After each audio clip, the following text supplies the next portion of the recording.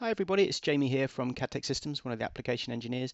I'm just going to take some time today to talk about cabinetry within SolidWorks, so how to create things like kitchen cabinets um, and that kind of thing uh, in SolidWorks, and also particular emphasis on smart parts. So using smart parts, maybe bringing thing in, things in that do things. So for instance, you know, cutting holes and adding other components for themselves. Uh, so we're going to have a, a, look at that, but particularly just within kind of um, cabinetry. So I've broken it into three sections this morning. Uh, we're going to be looking at multi-body part design to begin with. Um, so that's looking at uh, creating multiple part, multiple bodies within just a single part file. We're going to be looking at then technical drawings and how technical drawings can then report things like the cut lists.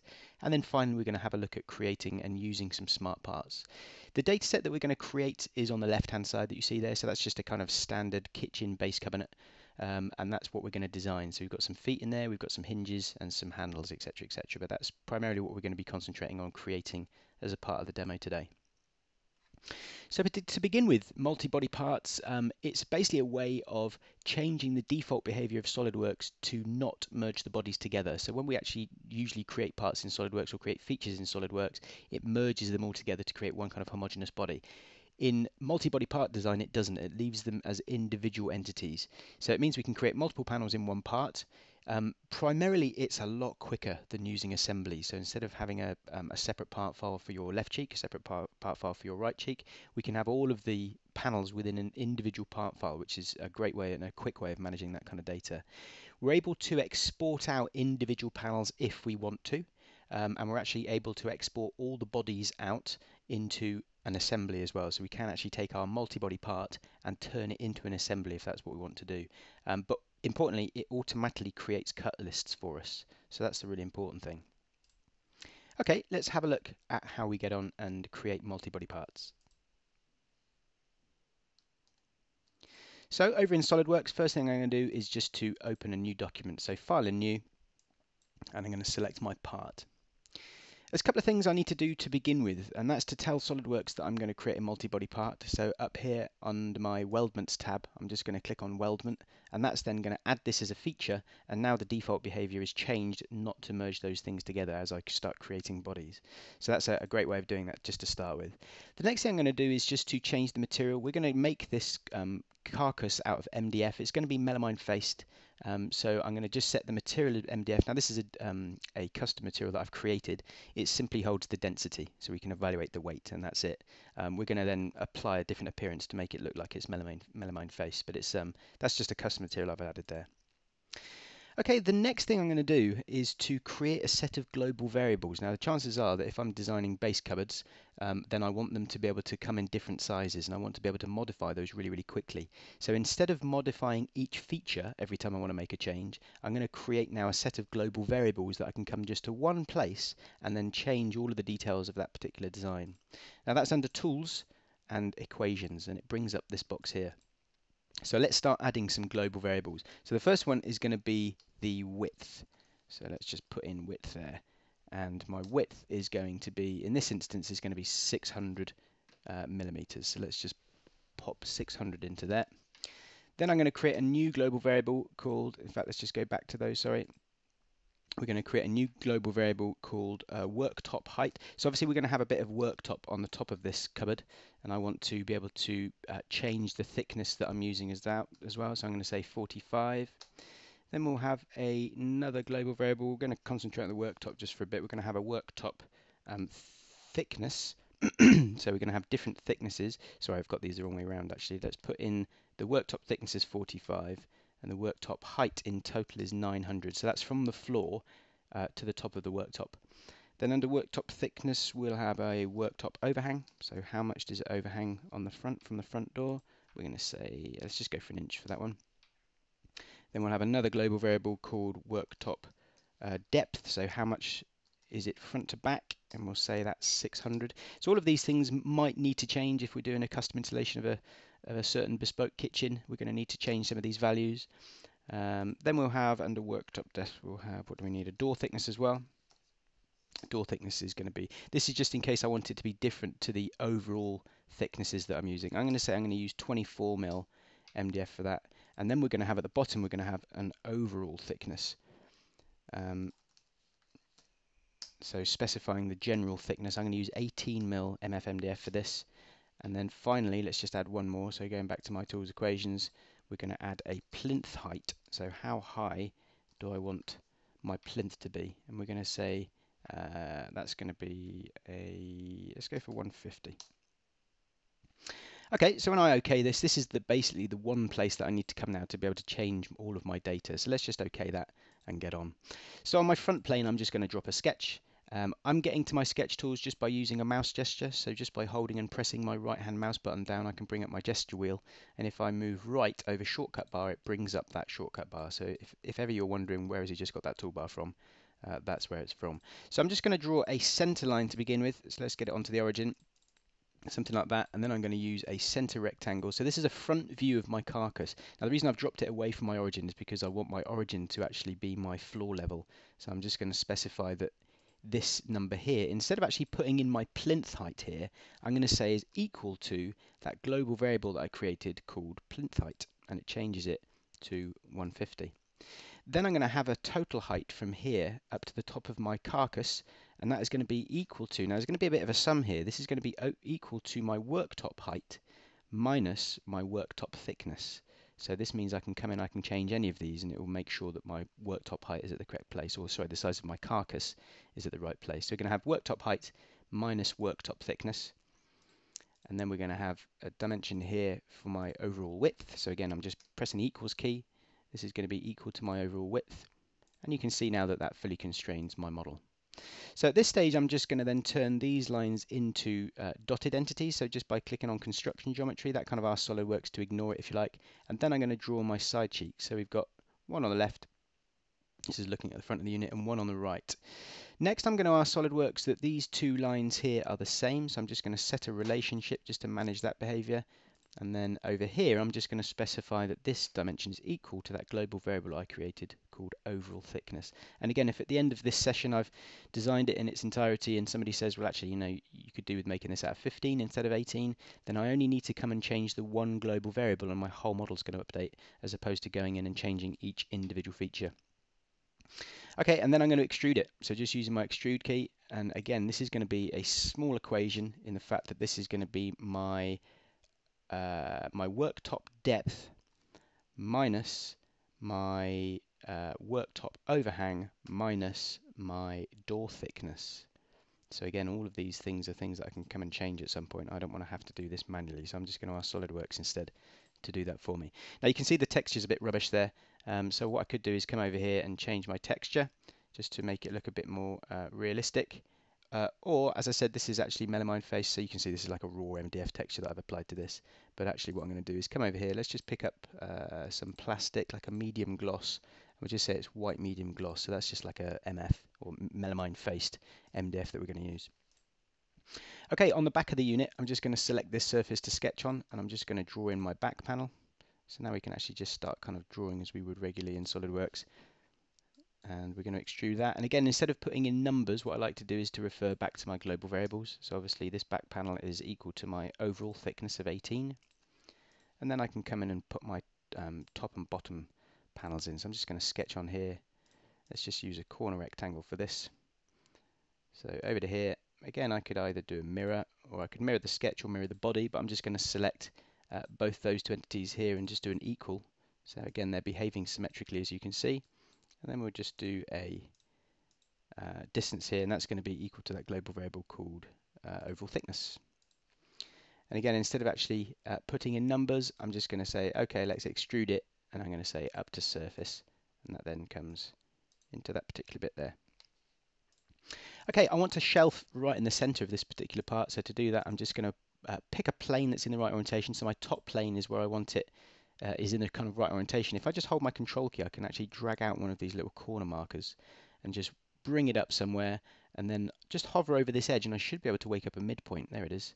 If I click on it, it then positions that plane right in the center and then I can actually go ahead and sketch onto there. So I'm just going to twist it slightly so you can see what I can do. I'm just going to select this surface over here and just offset it. So I don't want my shelf to be exactly the same width. Um, I want there to be a slight clearance, so I'm going to offset it by let's say half a mil. Then I'll probably do a bit more than that in reality, but we'll say half a mil. Just make sure it's going in the right direction. So again, if I just zoom in, you can see that that's half a mil inside.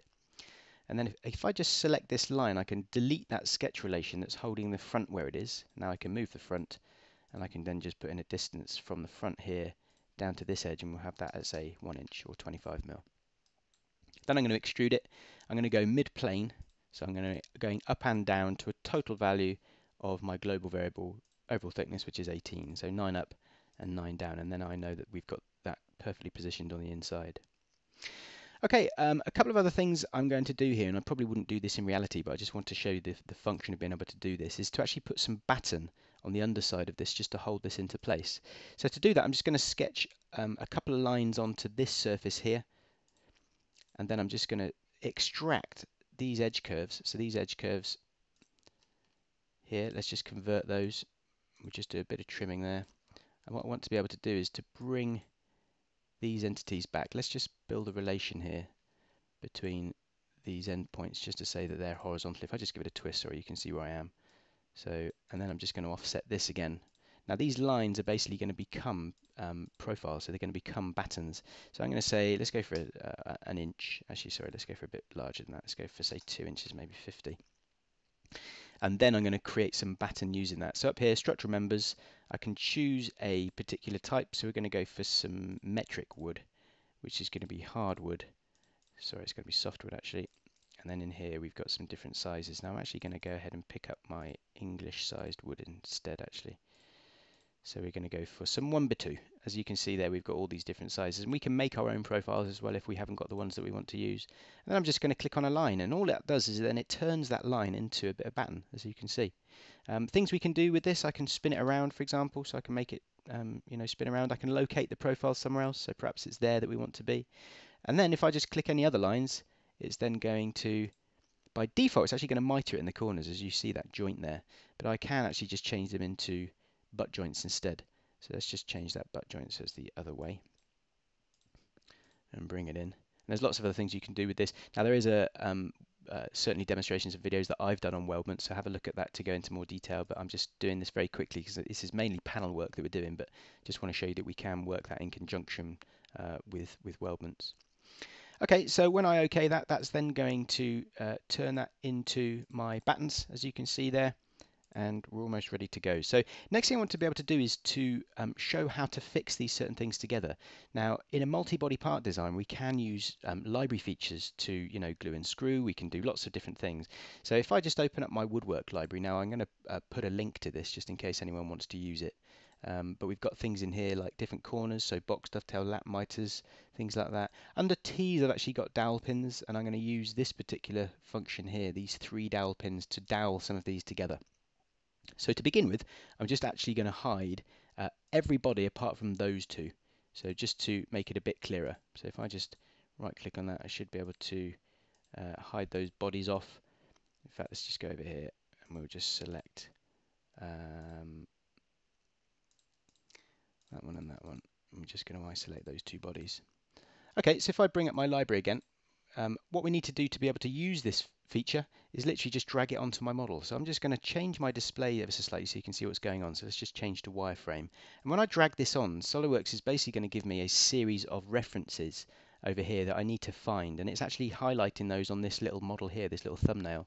So I just need to pick the points that are being highlighted on my model that are being highlighted here. So if I just click on this point, then this face, then this bottom edge, and then that top point there, you can see that SOLIDWORKS goes ahead and dowels it for me. Over here I can control things like my uh, dowel side inset. So I'm just going to say, well, let's do it, say 20 mil.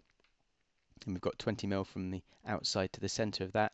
We can control the diameter. So I'm using a 10 mil dowel here, here and I'm using a 25.4, so an inch long um, dowel is what I'm using. And when I click OK, it goes ahead and actually goes and creates um, those particular features for me. Now I'm going to do an exploded view in a minute which is going to show what it's doing but actually what it's done is it's put a hole into this panel. So if I just change the display it's actually put a hole in this panel.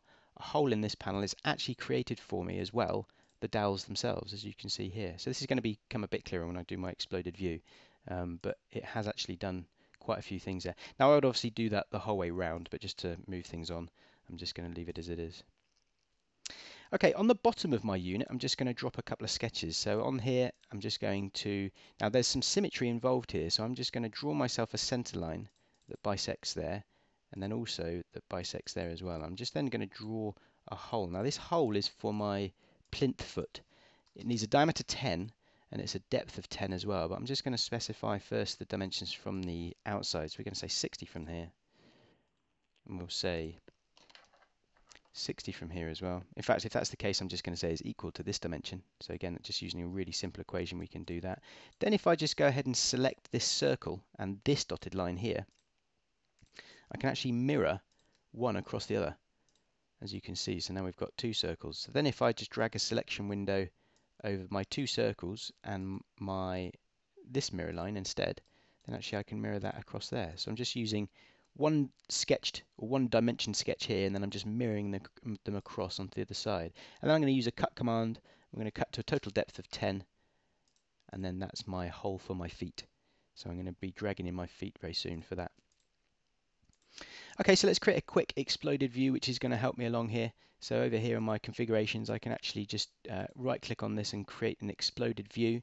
So what I might want to do is say take this panel and pull it over a bit maybe take this one, pull that over a bit. Then we might take uh, this panel and pull that back a bit. And as you can see, we've actually got our dowels here as well. So I can actually bring those over just to show that those dowels are um, joining these two panels together. And then finally, I might just take these bodies here and just pull them down a bit so we can identify those in the bill of materials. Uh, sorry, the cut list. Okay, so once that's done, I'm just going to do a save. So let's just save this onto my desktop just so I know it is. And we'll call this, um, this might be a drawing number or file name. Down here, I'm going to give it a description of uh, cabinet. In fact, I'm going to call it base cabinet. So base cabinet, and then I'm going to create a 2D technical drawing from it. So let's go ahead and do that. So before I do that though, let's just go back over to the PowerPoint.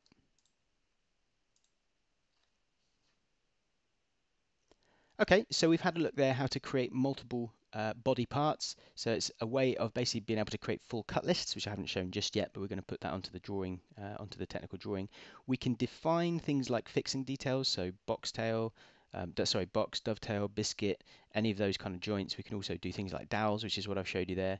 We can then save it as a part, or we can export it out as an assembly if we want to, but fundamentally it's quick. It's a lot quicker than having to do these in assemblies. And as I said, you can always turn it into an assembly afterwards, so it's really a, a great way of being able to manage that kind of thing.